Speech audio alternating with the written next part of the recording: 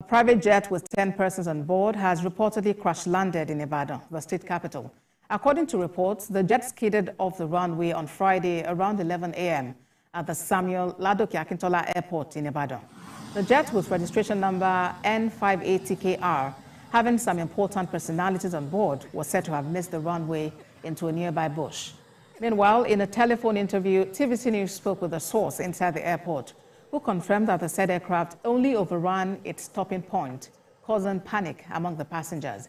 The source stated that the situation has been brought under control, assuring that all passengers on board are safe and sound.